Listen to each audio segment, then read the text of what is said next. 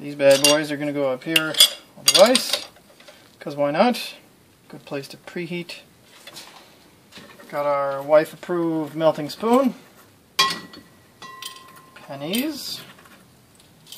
Let's try all of them. Why not? The last batch of pennies. Stirring nail, precision instrument.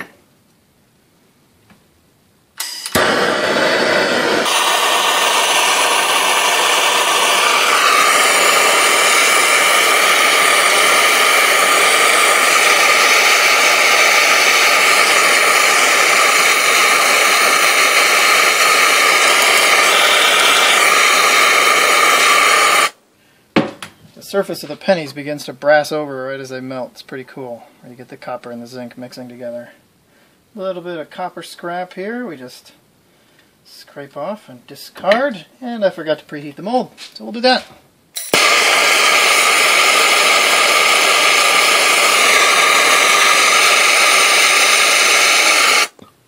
Mmm, zinc fumes. Don't breathe those. Okay. This is not much penny. Let's see what we get here. We'll just dump it on in. Bloop. Yeah, okay. Looks alright. Didn't pour very evenly. This one should be a, a, little bit less touchy about specific dimensions. The last one was super touchy.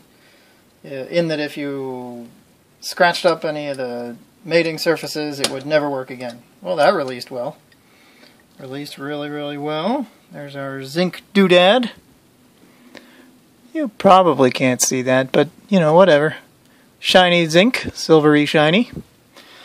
And now to get this off of here, I'm going to try to put it in the vise and just give it a tap from the other side. It is quite hot right now, owing to the blowtorch and all.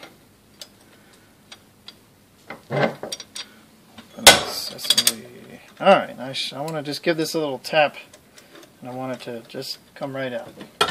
We'll see. Not as easy as I would like, but totally functional. So that is out. Drop our little zinky bit there. Normally you'd be wearing gloves or have two pair of pliers or, you know, other smart type things right now, but I don't have that. So that is lovely. We have a nice little zinky bit there. Ready to be chucked up on your ring mandrel and turned into a shiny ring. There it is. Got a nice finish. It's still incredibly hot, so there's that to deal with. Quite shiny. The zinc, when it comes out, is really, really shiny. Uh, and it shines up nicely. Here's this 500 degree piece of aluminum. One degree taper turned into the end.